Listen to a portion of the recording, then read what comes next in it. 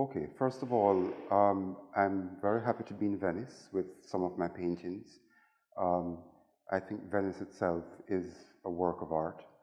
Um, and I also think that the visual arts um, is that universal language that um, cuts across borders and across countries, um, and through which we can communicate.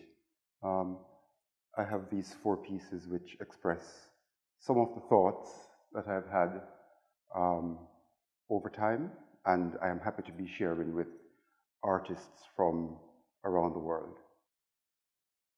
Is that good?